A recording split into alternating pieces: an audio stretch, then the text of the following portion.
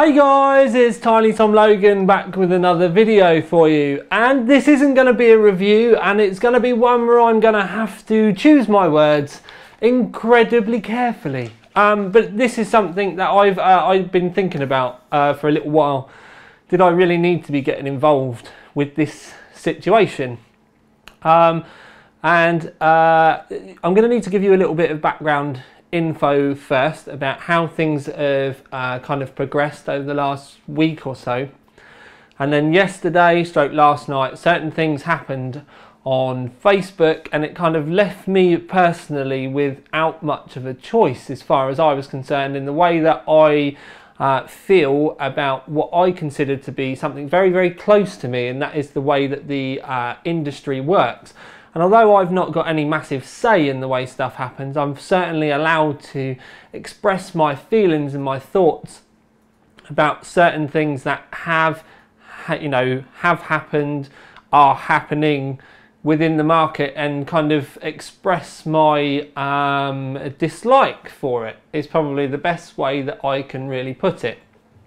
Um, so, if you're wondering what I'm on about, if you've not looked at the title already, it's the whole kind of debacle that's going around with uh, Thermaltake at the moment and the way that their products look incredibly similar to a lot of others.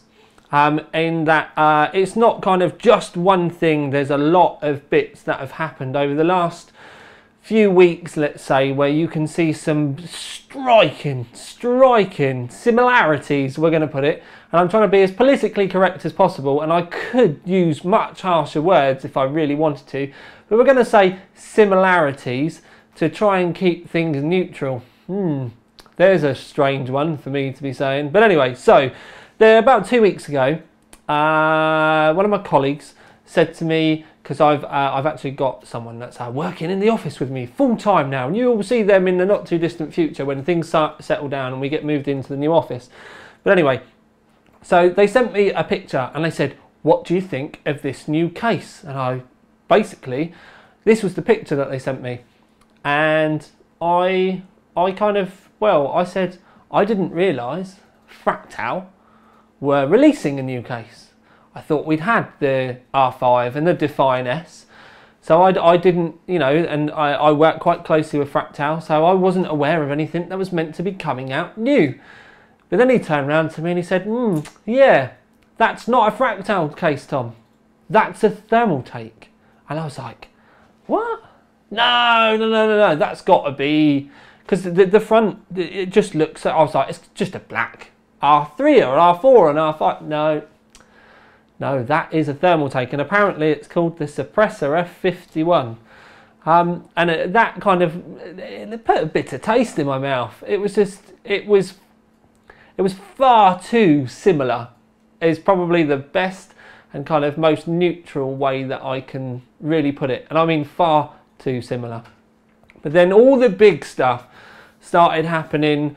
Uh, we'll say yesterday, and this is all going on at Computex at the moment and there is a lot of information going on around in the background but they launched a new range of cases now I'm going to tell you when I first saw the pictures on Facebook. I'm going to give you my instant reaction. This was what I thought when I saw it okay?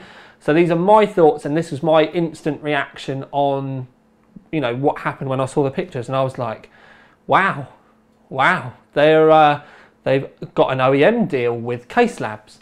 And I honestly thought that they'd um, either license the design from Case Labs or Case Labs were making cases for Thermaltake and Thermaltake were just putting their uh, badge on the front of the, the case. A bit like what you would see with power supplies and things like that. Sorry, we had the printer go on a, a mental one. So uh, it's very similar to what people do with power supplies. And uh, uh, that you have like OEM brands and then companies like, let's say, XFX will buy a Seasonic kind of uh, base and then they relabel it as their own. Or you have like Superflower, they sell designs to EVGA and the high-end EVGA power supplies are um, Superflower designs. So it's not unheard of in the industry to have an OEM. And essentially, the reason why I thought that is all of the proportions, the grills, uh, the windows, and all that type of stuff looked right. And I'll bring a picture up. This is the picture uh, that's been kind of bouncing around on Facebook and it kind of puts the two side by side. Now with the Case Labs on the right, it's the unbuilt one. It's not got the extra large window on it, but the uh, they do do an extra large window where the, the, ple the plexi goes right the way down to the front. Uh, and the only real difference I could see in this image, and I mean like a big instant straight away that I noticed image, is that the handle was slightly different. Down on the far right hand side of the window, so right near the front, you can see it's got a slightly different window. Now obviously I've not had the, the, the Thermaltake version in my hands, but I've spent a lot of time with the Case Lab stuff. I've had several of their cases in and I'm an, a, a big fan of the Case Labs design because Case Labs kind of took the, the basic kind of aluminium kind of design of the old MM style cases, which I kind of um, put down to being almost like a school project type of thing. And they took the aluminium design, they took it into the future, they put a completely different twist on it. They made everything modular uh, and they made everything kind of quite big and very, very water cooling friend friendly. Um, now, uh, you can see that there are some striking similarities between the Case Lab and the Thermaltake. So we've got that kind of bit out of the way, but this is when things start to get darker and more stuff starts to come to the surface where we, we found out that um, one of the Thermaltake team had seen like an initial launch of a Case Lab case and was so impressed with it they asked if they could take loads of pictures of it. Then Case Labs obviously turned around at the show and said, you know, you're from another, you know, kind of competitor. We're not particularly comfortable with that. Um, and then they just kind of apparently on the spot just turned around and went, well, we'll just buy one then. And the, the worrying thing is, is Case Labs have got the um, receipts that show a selection of Case Labs cases being bought from Thermaltake um, uh, web addresses, um, so their email addresses, and then going and being sent to Thermaltake HQ, which is something that is kind of like, well, okay. And again, we can stay politically correct and neutral on this, and a lot of um, manufacturers will purchase and look at other manufacturers' designs, not necessarily to rip them off, but to uh, see what the competition are doing. And that's obviously, you know, you want to keep your finger on the pulse, you want to see what's going on. It's not just for reviewers, people like me, to be able to get a feel for all these different things. Um, but obviously, you don't then want to uh, get to a point where your designs are so similar to another brand that you can't particularly tell the difference. And I think that's the point that um, is really sticking in my mouth more than anything is no matter what they say, if a design is so close to another one that you can't tell the difference, then, but it's actually made by two completely separate companies, where do you draw, where do you draw the line on this stuff? Now, one thing I am going to say is I'm, I'm giving you all of this information now and I'm trying to stay as neutral as possible so that you guys can make your own mind up. And if you follow the link underneath, we've actually started a poll on the OC3D website, which I urge you to go and take. And I really do urge you to go and take. You've got three choices, and it's basically um, uh, well, you can go and look. It's essentially yes, it's copied, no, it's not, or you know, yes, it is, but I don't particularly care. So you've got three very clear choices there because. I mean, we've got our thoughts, but we actually want to see what everybody else thinks. And the other thing that is kind of really kind of striking home to me with this is um, a lot of the uh, professional modders and people within the industry, um, and I'm not going to name any of them because I don't want to drag them into something that I'm going to create because I know that by making this video I am going to open a kettle of fish that's probably going to keep me awake at night for weeks. But there's a lot of modders out there and I mean um, people that we would all aspire to be. And I mean high level modders that I personally even look to them as being like, you know, the, the, the work that they do is absolutely amazing. But then we've also got the confusing part where manufacturers, not necessarily case manufacturers, I might add, although there are a couple, are looking at this with a very kind of like disapproving look in their eye as well. And again, I'm not going to quote them, but I've had the conversations today because I've done a lot of research on this before I decided to make the video to kind of gauge the, the reaction of everyone. But we wanted to make this video so that you, you out there can tell us what you think. Um, now I know that, you know, there's going to be a lot of hoo-ha about this. So we're just going to put it out there and let it go. But it doesn't really end with this. It really doesn't. There's a lot of things that, they're, they're, that have happened recently um, that now when it all comes to the surface is just really kind of not in the interest of where the market should be going. I mean, like I said, if you end up making the same as everybody else, you're going to have no differentiation for your brand. Uh, other than, you know, oh, that's the Thermaltake looks like that, and oh, that's the Thermaltake looks like their one, and oh, that's Thermaltake's version of that. And I personally, I, you know, maybe if that's what they want to be like, then fine, but that, that almost seems to me like you're kind of praying, and I, I'm, by praying I mean you know like taking advantage of people that don't know any better, and they don't realise, and they think everything's unique and that's theirs, and I don't particularly think it's right. And it's almost like the naughty kid in a classroom that's copying homework. It's it, yeah, it just doesn't sit well. But there, there's a couple of things I want to point out as well. A lot of manufacturers now, especially water cooler manufacturers, are moving away from glycol coolant um, uh, Thermaltake uh, actually actively marketing their glycol coolant still, and it's like toxic and it can eat hose. Now it's not going to eat um, PTEG hose, which is uh, where the the um, uh, like the rigid tubing is going, but I don't. I've not been able to find any warnings anywhere of it being you know bad for other hoses. I think it's the acrylic stuff it can react with. Their radiators, I've been able to find all aluminium radiators made by Thermaltake, which is a kind of, that's a, a that's a problem. If you've got aluminium and you anodize it, the anodizing acts as like a barrier, so you don't get any problems with galvanic corrosion.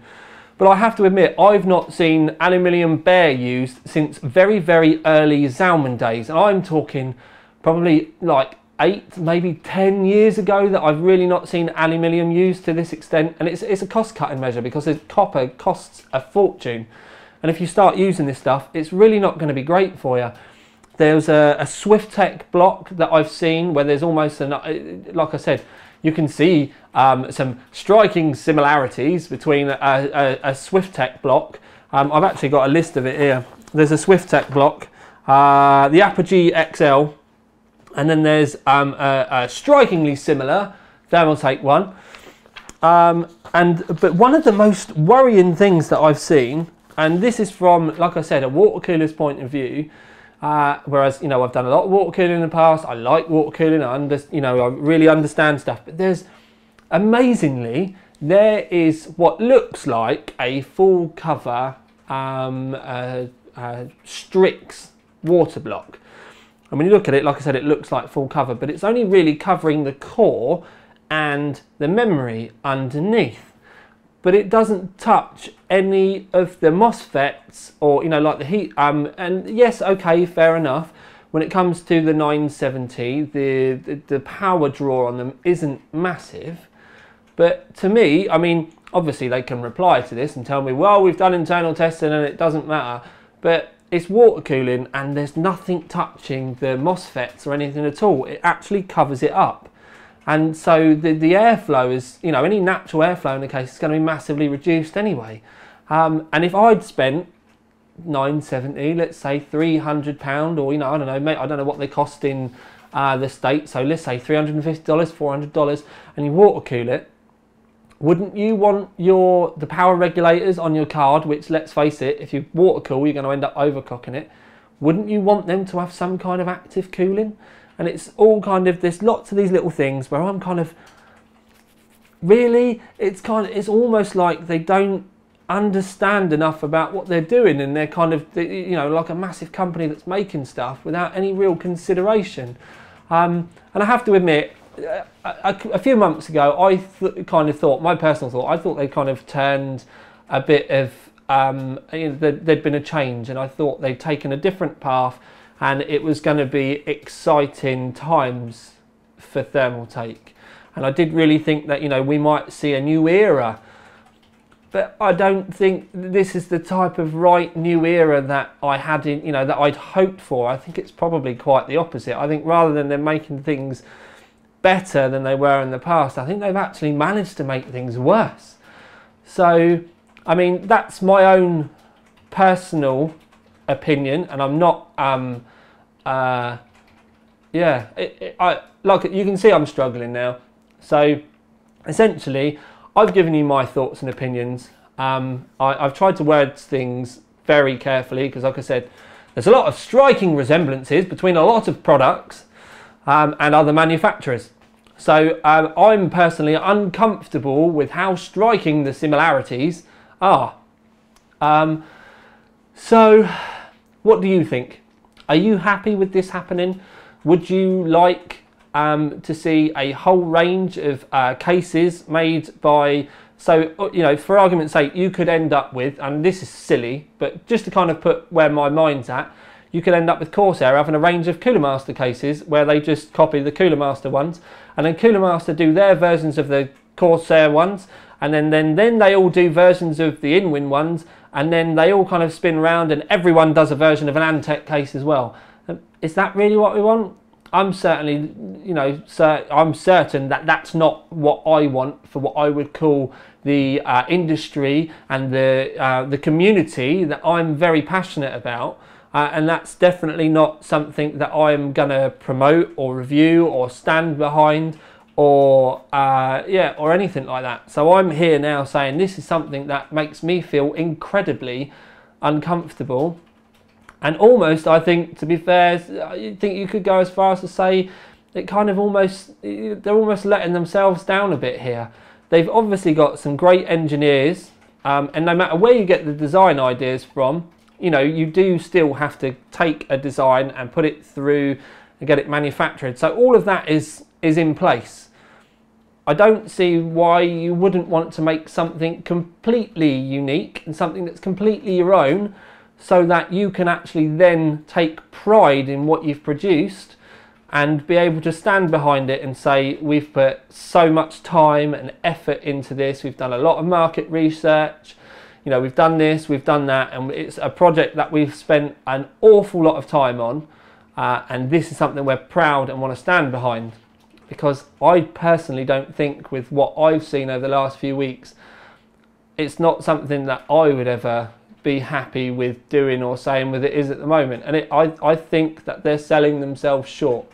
That's personally what I think. I think they've got everything there. They just need to get some. Uh, I suppose you, uh, you could say they need to get some inspiration from elsewhere. But I think they really need to sit down and decide where they want the brand to go because at the moment you might as well just be photocopying um, uh, leaflets out of other manufacturers' brochures and changing the logos on them. And it's something, yeah, like I said, it's something I'm not particularly happy with. Um, so yeah, there's my thoughts. Uh, don't forget what I've said. Go to the link underneath. We've got a poll. There's a lot more information on the Overclock 3D website as well because um, uh, we've done a big article on this because it's something that we feel very deeply about. And like I said, we're very passionate about our community and our industry um, and everything as a whole. So from literally the companies at the top down to like the, the, the, the professional modders and then down to us review sites, you know, trying to educate people and bring things to people's attention down to then what we would call um, the end users. And whether you're a performance end user that knows pretty much everything about every product out there and could technically be a reviewer, or whether you're um, a newcomer to the industry uh, and are just building your first PC or maybe looking to build yourself a console PC or something like that to go onto the, the Steam OS or you know something for your front room. It, it, this type of situation can affect everyone. So personally, I think it's time for everyone with a voice to stand up and air their opinions. Um, and uh, if you're not happy with stuff like this happening, say so click that poll, show your, your thoughts. If you don't like it, say no. It's completely impact. You know, you're not got to put your name to it or anything like that. So you can just be just a tick. Um, but you know, this could be a chance for the the the whole community and you know the whole industry to stand together as a whole and turn around and go, yes, we you know we disagree with this, or actually, you know, we don't care. So it's kind of choose where you are and let's all discuss it and get it out. If you have um, some even stronger thoughts and opinions on this, please do join, the Overclock 3D forums and join in the discussion on there. There's a lot of the regulars that I've actually been talking um, to on there um, about this situation. And it's basically the, the, the fact that this all come to a head and lots of people that I've spoken to uh, are, are not happy with this. Like I said, from you know manufacturers to modders to end users, even retailers I've spoken to today are like, so that's not right. So um, that's it. We want to hear from you. We want to hear what you think. Comments, forums, poll, do the lot. Stand up. So if you if you feel strongly about it, I'm going to be quiet and leave you lot to uh, voice your opinions. Yeah, time for me to go.